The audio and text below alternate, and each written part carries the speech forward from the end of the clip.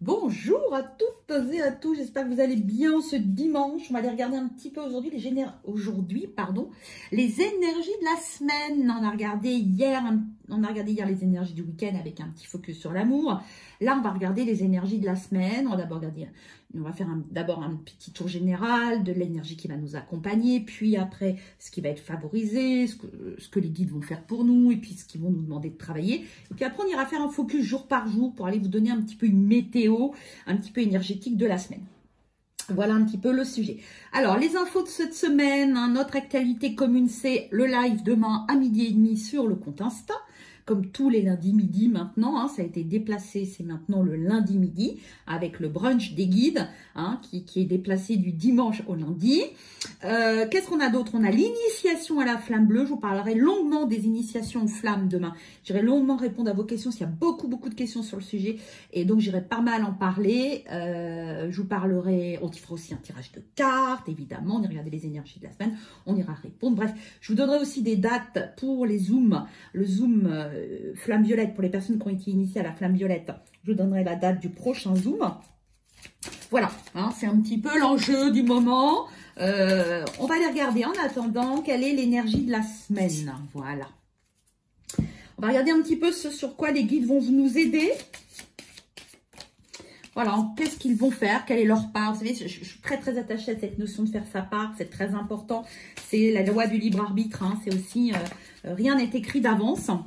Euh, on, peut tout à fait, nous, venir modifier les choses, venir les améliorer ou les aggraver. Ça dépend de notre énergie. On en a parfaitement le droit. Et, c'est bien de ça dont on parle. Donc là, c'est le coup de pouce, hein, le coup de main que les guides sont prêts à faire pour nous, que l'univers, Dieu, la source, hein, nos guides, nos, voilà, nos défunts sont prêts à faire pour nous. Et là, c'est notre part, c'est ce qu'on attend de nous. Ensuite, on terminera par un petit conseil, porte de l'intuition, et on passera au tirage jour par jour. On ira affiner, on ira... Alors, sur le tirage jour par jour, c'est un petit peu comment vous orienter, si vous avez des choses à faire, des décisions à prendre, ou des... Voilà, ou un petit peu l'énergie dans laquelle vous allez être. C'est toujours intéressant.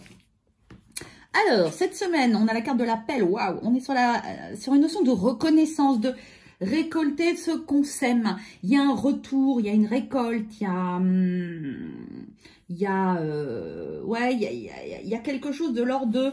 Euh, du cadeau, mais c'est pas le cadeau que je reçois parce que euh, le hasard, c'est voilà, c'est peut-être la récolte. C'est le mot récolte. Hein.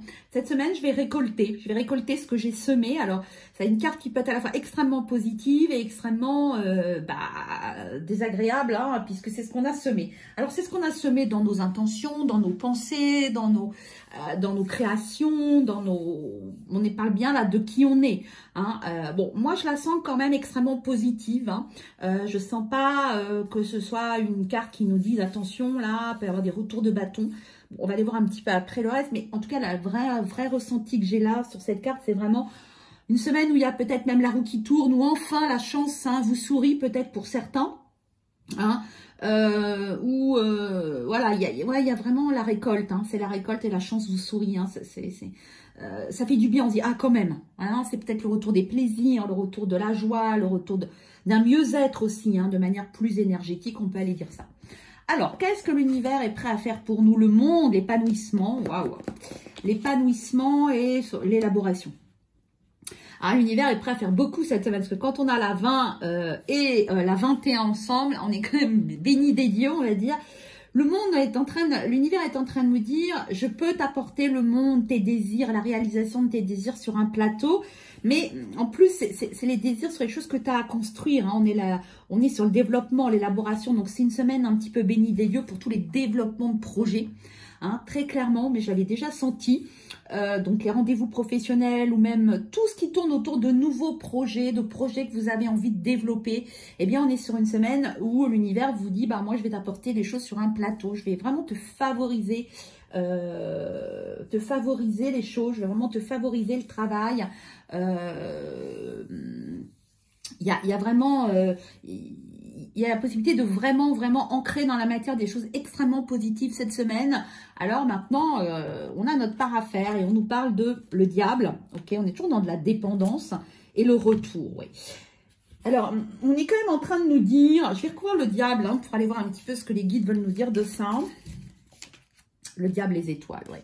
C'est à un moment donné, euh, accepter de se faire confiance et accepter de sortir des dépendances euh, l'équilibre, ouais, trouver de l'équilibre. Je crois que c'est aussi se retrouver son centre. On nous parle bien, là, nous, de, bien rester centré, de bien rester ancré, centré, j'entends, ancrage, centré sur ce qui est important pour nous et pas trop se laisser happer par les problématiques des autres. C'est-à-dire, on, nous demande cette semaine d'être centré sur nous et de pas faire notre sauveur, hein, de pas essayer d'aller sauver les autres. Et euh, en gros, c'est occupe-toi de tes affaires, mais au sens de tes projets à toi. Et puis laisse un petit peu les autres se débrouiller. Hein. Il, y a, euh, il, on va nous demander quand même de faire preuve d'égoïsme sain pour pouvoir se centrer sur nous, de mettre de l'équilibre. Parce que si on laisse si on se laisse manger par les énergies des autres, par les problèmes des autres, tout le monde a des problèmes, tout le monde a des difficultés. On sort d'une année euh, qui a été difficile pour tout le monde à plein des égards. Eh bien, ça ne veut pas dire ne pas avoir de la compassion. Bien sûr qu'on nous propose et qu'on nous, demande d'avoir de la compassion. Mais une compassion qui s'arrête là où ça ne m'empêche pas, moi, de réaliser mes projets. C'est-à-dire que si vous avez des gens qui souffrent autour de vous, qui sont, qui sont dans la difficulté, eh bien oui, leur accorder du temps, bien sûr, les soutenir autant que vous pouvez, les aider. Bien sûr, la contribution, c'est extrêmement important. Mais en même temps, les guides vous disent attention que ça ne t'empêche pas de suivre ton propre chemin. Parce que pour toi, cette semaine, il peut y avoir des choses extrêmement magnifiques qui se passent. Il peut y avoir des très beaux cadeaux, des très belles réalisations. Et il faut pas que ce soit gâché parce que soit tu penses que, soit tu... soit gâché par les difficultés des autres. si toi, tu as une belle réussite cette semaine, un beau cadeau, quelque chose qui se passe bien, euh, eh bien, euh, autorise-toi à le dire, autorise-toi à manifester ta joie. Ne t'interdis pas d'être heureux parce qu'à côté de toi, il y a quelqu'un qui ne l'est pas vraiment. Hein, je, crois que cette semaine, chacun, c'est aussi une semaine où, tout le monde va avoir son lot de bonheur. J'ai pas l'impression que tout le monde va avoir son lot. Mais effectivement, eh bien, euh, il y a des moments où les bonheurs qu'on reçoit de la vie ont plus d'impact que d'autres. Euh, parce que si on traverse un moment difficile, euh, si on est dans un deuil, par exemple, bah, c'est vrai que les bonheurs de la vie sont toujours plus fades eh bien, il ne faut pas que ça nous empêche, il ne faut pas que ça empêche les autres quand même de profiter. En gros, on vous dit, ne laissez pas les autres venir gâcher votre bonheur, hein, vos joies, vos... Gardez bien cet équilibre entre ce que vous donnez et ce que vous préservez. Hein. Oui, je donne aux autres, oui, je m'ouvre, oui, je prends soin de l'autre, mais je me préserve aussi. Hein. Euh, ça, c'est vraiment important. Parce que le monde, l'univers est prêt à nous offrir le monde sur un plateau. Alors, quel est le conseil? La gratitude, je crois qu'elle est déjà sortie, c'était pour, euh, je crois que c'est hier ou avant-hier. Je crois que ça va être une semaine, on va, vous pouvez remettre un rituel de gratitude hein, en place. Hein, merci, merci, merci, ça marche très très bien. C'est le, c'est quelque chose qui est très puissant la gratitude pour obtenir ce qu'on veut. Euh, donc c'est important que vous ayez le mot merci à la bouche. Hein, ça va pas de soi, c'est important de dire merci, merci, aux, merci à vos collaborateurs, si vous êtes chef d'entreprise, merci à vos collègues, merci à vos enfants, merci à tout ce qui va y avoir de sympa cette semaine. Et moi je pense qu'il y a vraiment de très très très bonnes nouvelles, de très belles choses qui arrivent, qui la chance tourne, la chance arrive, les opportunités, la chance arrive cette semaine pour vous, quels que soient les domaines, hein. amour, professionnel, amitié, famille, il y a vraiment une, ouverture, les portes s'ouvrent. Hein. Euh, les portes s'ouvrent euh, et, derrière les portes, il y a de très beaux cadeaux. Allez, pour terminer, on va quand même aller faire un focus jour par jour pour voir un petit peu ce que ça peut donner. Alors, on va prendre, on petit jeu, que j'aime bien. Et on va prendre, et on va prendre on va prendre... mon jeu? On va prendre ça. On va prendre mon jeu brillant, je l'aime bien, et puis euh, le sixième sens, l'oracle du sixième sens. Alors, lundi, je vais d'abord noter le titre de la vidéo, parce que c'est vrai que sinon je vais oublier, les portes s'ouvrent. Comme je suis en canalisation, j'oublie après. Une fois que j'aurai fini la vidéo, je vais oublier. Alors, lundi, lundi, qu'est-ce qu'on a lundi? Là.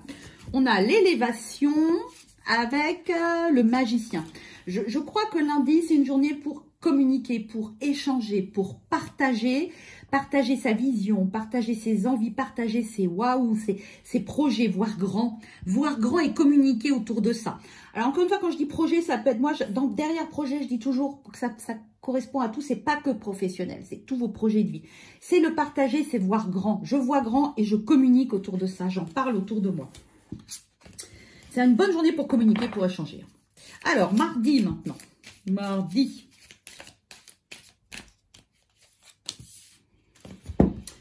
Mardi. Qu'est-ce qu'on nous dit mardi? On nous parle les émotions avec le changement. Mardi, c'est une journée euh, de changement. C'est-à-dire c'est une journée où il peut y avoir des, des, choses qui bougent, qui changent, des nouvelles opportunités, des nouvelles... Et ça, ça peut, le changement, ça fait toujours peur, même s'il est très positif. Donc mardi, il se peut qu'il y ait quand même euh, une, petite, résistance au changement parce que la peur d'une nouveauté. Mais au contraire, on vous dit, vas-y, c'est normal, n'aie pas peur, accueille ce changement parce que tu, y a l'ombre, il y a la lumière. C'est des belles choses, on, je vous l'ai dit, dans une semaine de reconnaissance. Donc c'est du changement positif. Donc il y a du beau changement qui arrive mardi, mais ça peut vous mettre dans l'émotion. Une émotion qui peut être très positive aussi, simplement de la gratitude. Hein. Donc mardi, on accueille les changements, on accueille la nouveauté. Mercredi maintenant.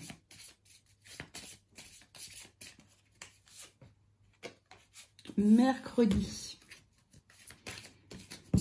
Hop, les cartes ont sauté. On a le fou, le commencement, toujours le changement. À partir de mardi, il y a un vent de changement qui souffle sur nous, qui nous invite à prendre un nouveau départ. Alors, ça peut être un nouveau départ parce qu'on a reçu une information, parce qu'on a reçu quelque chose. Bref, il y a quelque chose de nouveau, c'est très positif, ça bouge. Hein, il se passe des choses, ça bouge, ça avance. Les projets avancent, les changements. Il y a peut-être des opportunités qui frappent à la porte. Et là, euh, alors, je sens derrière, on va avoir un petit peu euh, ce que donne la fin de semaine. Mais bon, mercredi, c'est aussi, euh, vous le voyez quand même, hein, vous savez, si vous êtes en France, il faut regarder cette vidéo, c'est la réouverture des terrasses, des magasins des choses. On est quand même sur une réouverture. On voit bien un nouveau départ, le changement. Oui, il y a ça qui souffle. Ça souffle sur la société, mais ça souffle sur nous aussi énergétiquement. C'est pas par hasard. Donc, mercredi, il y, a des, y a des nouvelles choses qui se mettent en place et des opportunités. On nous invite à saisir des opportunités, quelles qu'elles soient, et à y aller. On change un peu notre façon d'être. Bah, on sort du confinement, mais on sort aussi de notre confinement personnel, peut-être aussi. Le changement est quand même sorti deux jours de suite. C'est quand même le, le, bah, le titre, j'ai mis les portes s'ouvrent, on est quand même un, souffle de changement. Le vent du changement souffle sur nos vies. Voilà ce que me disent les guides. Le vent du changement souffle sur nos vies. Alors, jeudi. Jeudi, qu'est pas ça jeudi? Jeudi.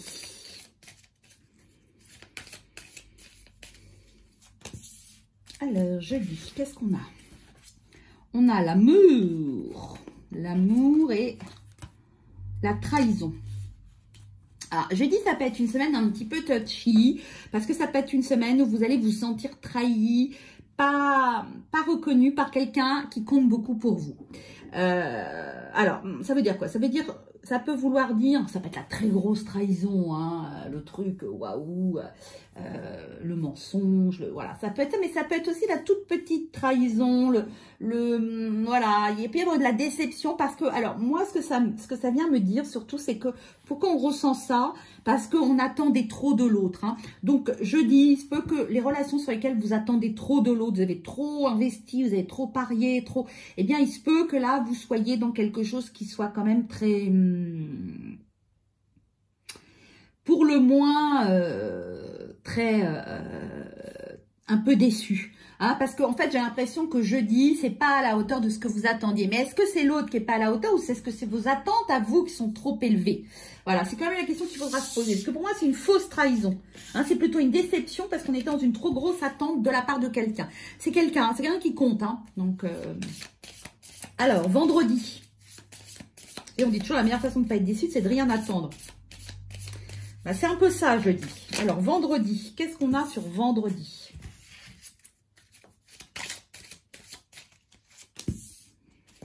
Vendredi. On a la grande prêtresse et la passion. Alors, vous voyez, que la passion, c'est chaud, la grande prêtresse, c'est le silence. Moi, j'ai l'impression que il y a quelque chose, vous allez mettre le pied sur le frein, vous allez prendre du recul sur quelque chose qui, qui est un peu puissant dans votre vie, qui est un petit peu, euh, qui vous envahit un peu émotionnellement, hein, qui est un peu, peut-être, c'est voilà une nouvelle rencontre, un nouveau truc, vous aviez, vous étiez à fond, le pied sur l'accélérateur, et là, vendredi, waouh, on se met un peu en retrait. C'est pas qu'on stoppe, mais c'est qu'on on fait un peu plus silence. On, prend du, on éprouve le besoin de ralentir la machine. Tout simplement dans votre vie. Pour d'autres, ça peut simplement vouloir dire que vendredi, on éprouve le besoin de ralentir la machine et aussi, et aussi de travailler dans le secret. Alors, ça ne parlera pas à tout le monde, mais pour certains, il y a un travail dans le secret. C'est-à-dire qu'on travaille à quelque chose qui est important pour nous, mais on ne le dit pas. Alors, pour le week-end maintenant, allez faire samedi, et dimanche. On va les faire ensemble, tiens. Les guides me disent, fais samedi et dimanche ensemble. Eh bien, on les fait ensemble pour le week-end prochain. Samedi et dimanche. Qu'est-ce qu'on nous dit pour samedi et dimanche? On nous parle de la protection de l'ermite, intuition, protection, avec le travail et la maladie. Ok. Alors, bon, c'est des belles cartes, hein. Ça va concerner plutôt, bah, ce week-end, veux dire, si vous avez des problèmes de santé ou si quelqu'un a des problèmes de santé autour de lui, euh, autour de vous, je parle rarement de la santé, mais là c'est là. Donc euh, je le dis, bien vous inquiétez pas, il y a de la protection et cette personne va recevoir des messages pour aller mieux, pour guérir, pour aller vers un chemin de guérison. Voilà. Il peut y avoir aussi euh, de la difficulté, si vous aviez des difficultés professionnelles, eh bien hein, la maladie travail, sur des difficultés professionnelles, des questions sur votre vie professionnelle, eh bien ce week-end, vous allez recevoir du soutien, des messages, hein, de l'intuition.